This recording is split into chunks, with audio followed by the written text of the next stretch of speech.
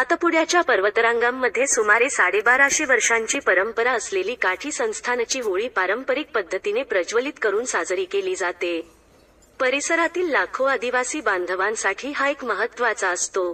पुढील वर्षापासून या राजवाडी होळीचे पर्यटनदृष्ट्या ब्रँडिंग तसेच होळीसाठी येणाऱ्या पर्यटक व भाविकांसाठी सोयीसुविधा उपलब्ध करून दिल्या जाणार असल्याची माहिती राज्याचे आदिवासी विकास मंत्री तथा पालकमंत्री डॉक्टर विजयकुमार गावेत यांनी दिली आहे. यावेळी यावेळी जिल्हा परिषदेच्या अध्यक्षा डॉक्टर सुप्रिया गावेत खासदार डॉक्टर हिना गावेत जिल्हा परिषदेचे सदस्य सी के पाडवी माजी अध्यक्षा कुमुदिनी गावेत किरसिंग पाडवी नागेश पाडवी आदी उपस्थित होते.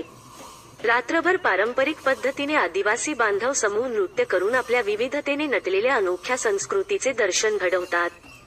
काठीला जाणाऱ्या रस्त्यावर दुपारपासूनच गर्दी होते. रस्त्याच्या दुतर्फा जाणारे अनेक समूह काठीच्या दिशेने जात असतानाही समृह नृत्य करतात. होळीच्या काळात आदिवासी समाजात नवस फेडण्याची प्रथा आहे. या काळात नवस फेडणारी आणि व्रत करणारी व्यक्ती घरचे अन्न ग्रहण करीत नाही खाटेवर किंवा पलंगावर झोपत नाही. पाण्याचा स्पर्श होऊ देत नाही. होळी प्रज्वलित होईपर्यंत त्यांचे नाचणे व गाणे ही दिनचर्या सुरू असते.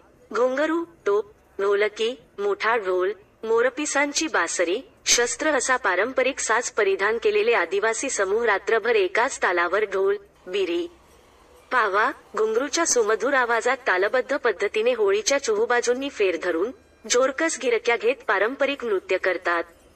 साऱ्या वाद्यांचा आवाजात संपूर्ण शरीरात ऊर्जा निर्माण करणारी नृत्य मंत्रमुग्ध करतात.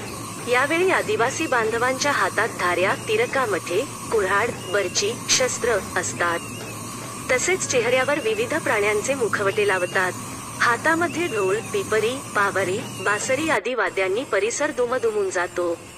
पहाटेच्या वेळी प्रज्वलित होणारी होळी आणि तेथे जमलेले नागरिक एका सुरातालात होत असलेले नृत्य या सर्व बाबी विहंगम दिसतात. तो क्षण डोळ्यात साठवणे हा एक विलक्षण अनुभव असतो असेही यावेळी मंत्री डॉक्टर गावित यांनी सांगितले.